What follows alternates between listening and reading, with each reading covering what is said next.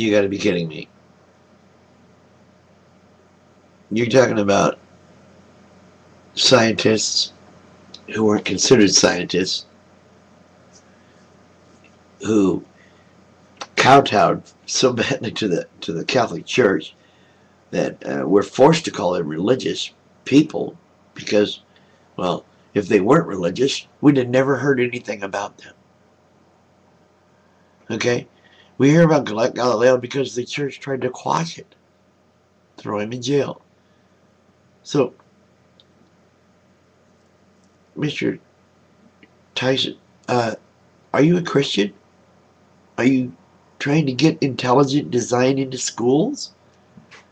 Is that what this is about? Because if it is, you've just, I've just lost all respect for you. All respect. I don't want to hear what uh, Galileo had to say, what Ptolemy had to say, what, uh, uh, you know, uh, Newton had. I, it doesn't matter. They hid a lot of their work because the Catholic Church didn't allow it to be said, didn't allow it to be published. So we don't even know what they really felt. They, in fact, even Darwin was actually going to seminary school and all that crap.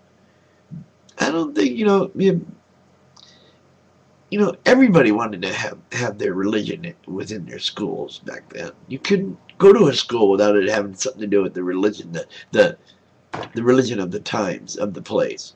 It was weird, you know, so that's, it's kind of like a, a moot argument. So you're, you're using that as an argument as to why we should maybe include intelligent design into the curriculum.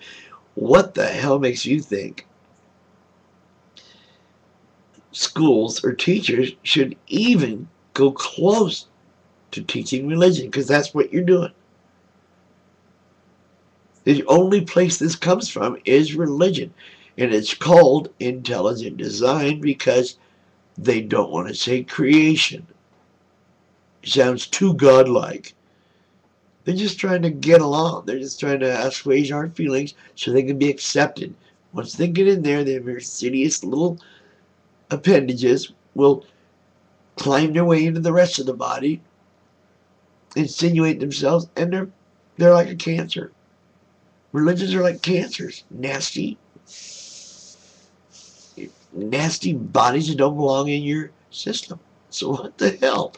And, and uh, you want to put up an argument for intelligent design, and your argument comes from the standpoint of uh, uh, 16th and 15th century scientists.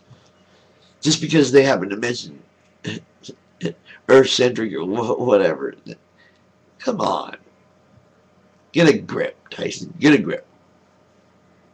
Try that some other place, okay? we don't want intelligent creationism in the school, especially taught as a science.